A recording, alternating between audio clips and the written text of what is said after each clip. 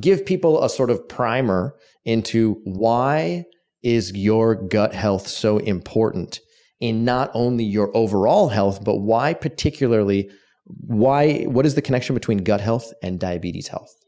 Let's start there.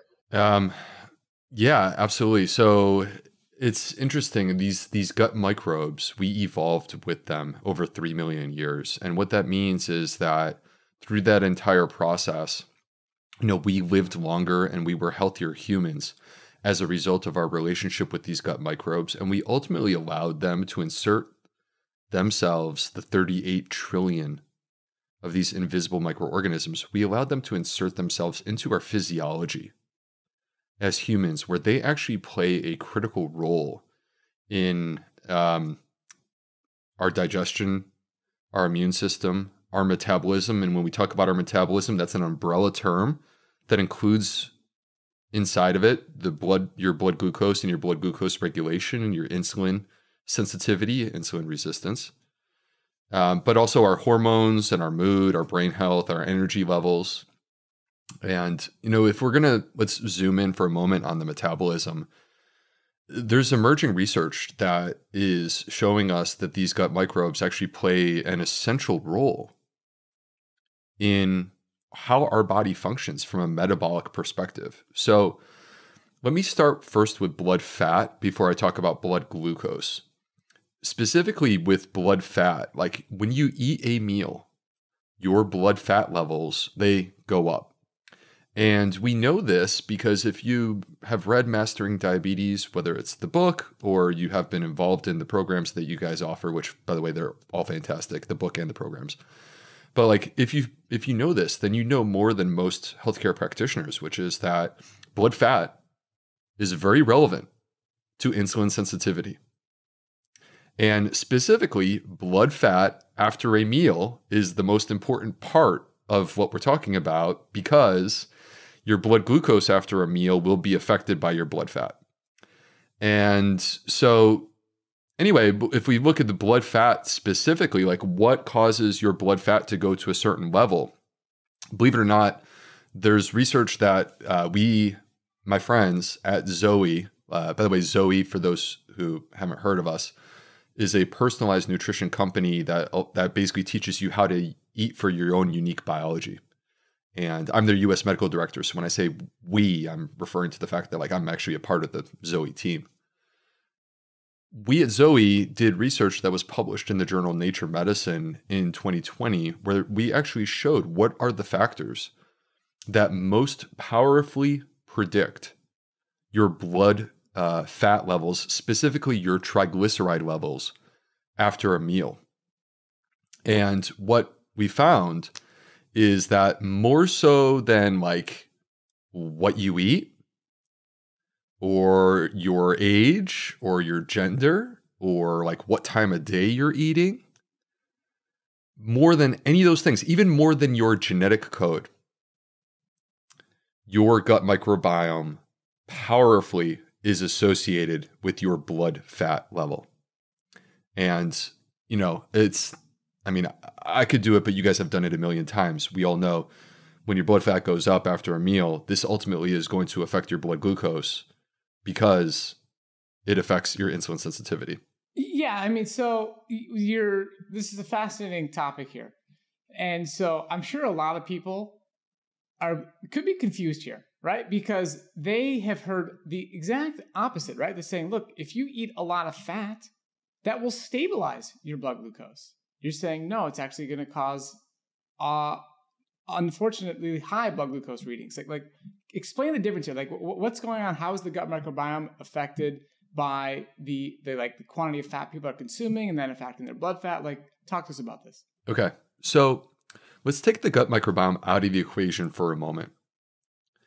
And let's talk about what's coursing through your blood at the time that you eat a meal, which are free fatty acids.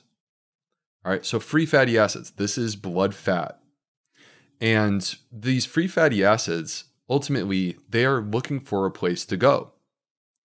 They don't want to be in your bloodstream. So there are certain places that these free fatty acids could look to to basically set up shop. One is in fat cells, maybe there's not a lot of room there. Maybe those fat cells are already pretty full. One is in liver cells, and the other is in muscle cells. Now, this is very important for people to understand because at the same time that there's fat in your blood, there's also sugar in your blood. We call it glucose.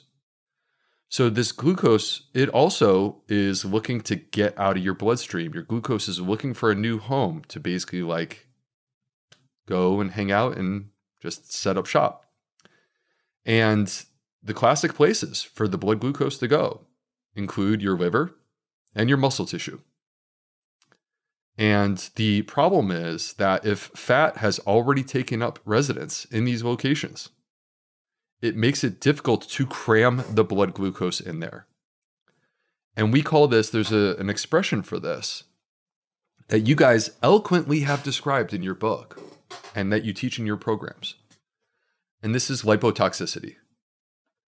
And lipotoxicity is when basically the body is out of balance. We're not talking about just eating a meal. We're talking about the body being out of balance. And because the body is out of balance, it is creating insulin resistance because of fat. It's the fat that's driving and fueling the insulin resistance.